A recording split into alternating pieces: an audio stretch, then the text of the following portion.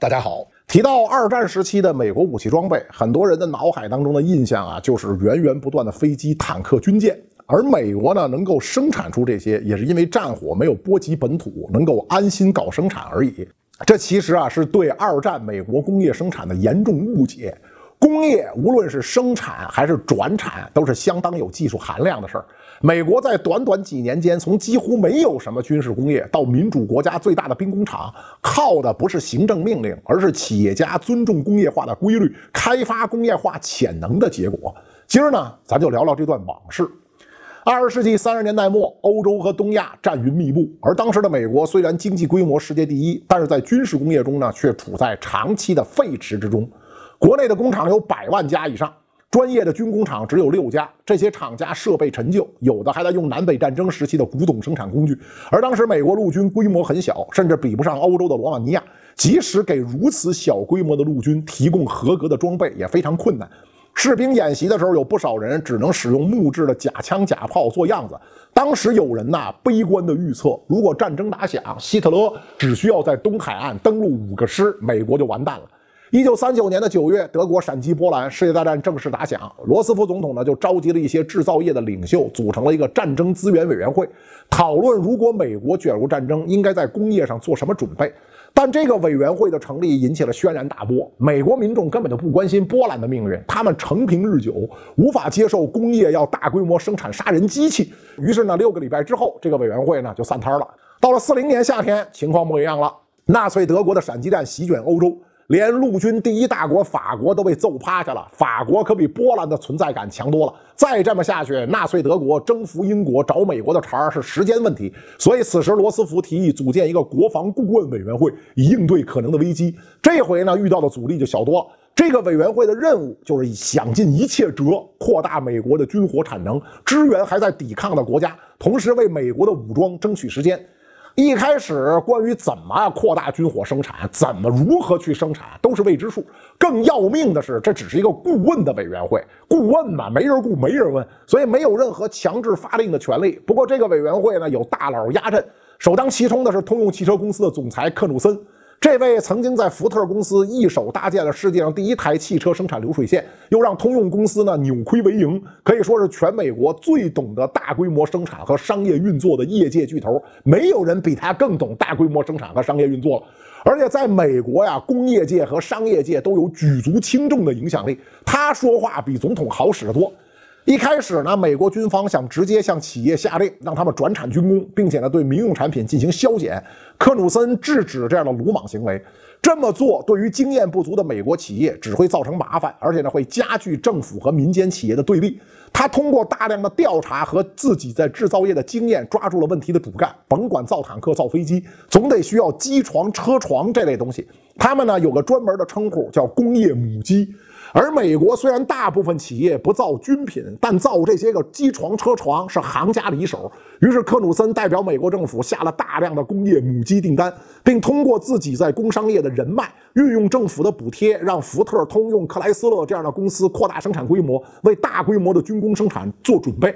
而新设立的厂区也都按照克鲁森最熟悉的流水线工作布置。尽管绝大部分参与生产的企业员工对武器并不熟悉，但在这样的流水线当中都可以保证生产。比如克莱斯勒公司被委托生产坦克，他们总裁之前连坦克长什么样都没见过，但在后来的战争期间，他的厂房成了美国坦克最重要的生产线。当克鲁森完成工业母机和生产线的布局之后不久，珍珠港事件就爆发了。此后，克鲁森宣布要把美国变成民主世界的兵工厂。这句话经过由他布局的工业生产，完全变成了事实。当科学规划的工业生产全力运作的时候，潜能是惊人的。福特公司用一年时间建成了世界上最大的飞机制造厂，而这个工厂每一个小时就能下架一架。B 二十四轰炸机在战争最激烈的时候，飞行员就睡在厂房尽头，以便把生产出来的飞机飞走。汽车城底特律一个地方生产的坦克，就比纳粹德国举国之力生产的还要多。当然了，这样的生产也不仅仅是流水线，工程师们也会及时根据设计对产品进行调整。相比于军人，工程师对工艺的了解更多，因此这样的调整成功概率也更大。比如谢尔曼坦克废除了某阶，改用汉阶，这就是非常成功的改进。整个战争期间，美国生产了八万多辆坦克，二十九万七千架飞机，两百五十万辆卡车，等等等等等等，完全淹没了德国和日本的战争工业，是吧？这个德日跟美国这一比就不在了。如此多的武器装备，不但让美军脱胎换骨，变成了一支战斗力强悍的生力军，也大量装备了英国、苏联等盟国，是吧？所以你看，那个美军才是一支完全机械化、那四个轮子前进的军队，德军主要还是靠马，所以有人把这个纳粹德国叫罗马帝国，是吧？这个苏联如果要不是因为美军援助了四十几万辆卡车的话，那他拿什么？步兵去追得上苏联的坦克呀？那这是不可能的。苏联生产的坦克数量在二战但是到第一，比美国多。但是你别忘了，美国还有两百五十万辆卡车呢。这些卡车几十万辆援助给了苏联。所以在一九四三年的德黑兰会议上，斯大林向罗斯福祝酒，并提议为美国的生产干杯，对吧？因为如果不是美国生产的海量武器，苏联肯定会输掉这场战争。由于克努森在提高生产效率上起了了不起的功绩，他成为美国历史上唯一一位以平民身份获得陆军中将军衔的人。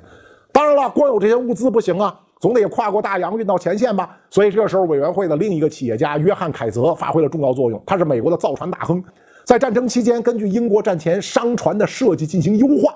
制造出了可以快速大规模生产的自由轮，这种货船不需要熟练工人建造，四十多天造好一艘，最快的建造记录是四天。这个咱们前面讲过。虽然整个战争期间轴心国不断的发动对盟军货轮的潜艇袭击，但建造的数量之多，完全淹没了潜艇战的努力。可以说，自由轮是同盟国获胜的必备因素。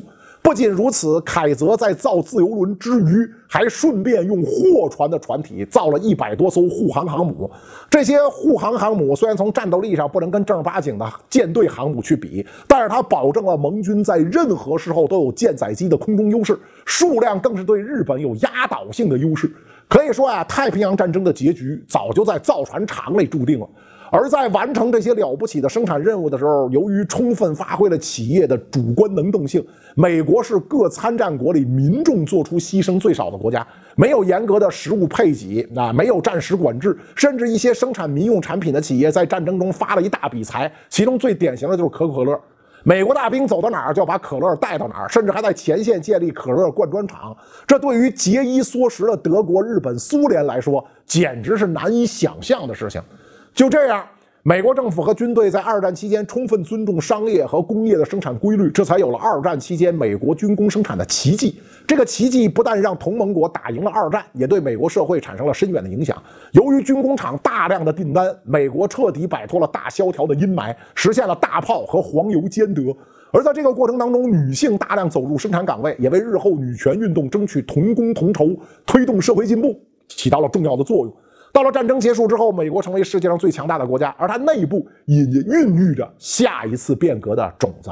好了啊，关于美国二战军事生产的奇迹啊，这个故事，咱们今天呢就聊这么多，谢谢大家。